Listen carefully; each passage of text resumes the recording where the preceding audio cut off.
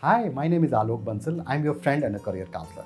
Today we are going to talk about CAT 2019, how to crack and score pretty well in the second section, which is logical reasoning and data interpretation.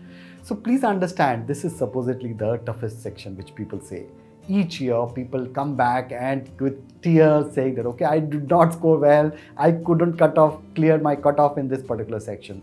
So can i plan around that? Absolutely. Please note there are 32 questions. We have 96 as a score as a maximum mark which is available and 60 minutes.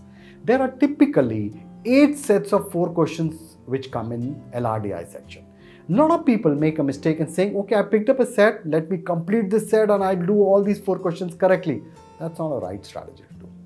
There are, in each set, you would find there are three levels of questions which would come in easy, very complex, comfortable with some little proficiency level, you'll be able to do that. So pick up a set, don't pick up a set, don't try to attempt all four questions in that particular set. Pick and choose. Even if I, from my perspective, if you score around 50% and in absolute terms in a DILR section, you are at a 99 percentile or so.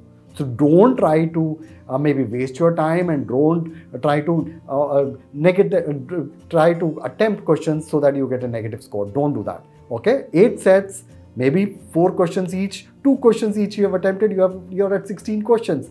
100% accuracy with that, you are scoring 99 percentile in that particular sections. Go with that attitude and you'll be able to do well. Also, a lot of people come back and say these are unseen passages or unseen questions. So I would simply go on that D-day and try attempting that paper. Don't make that mistake.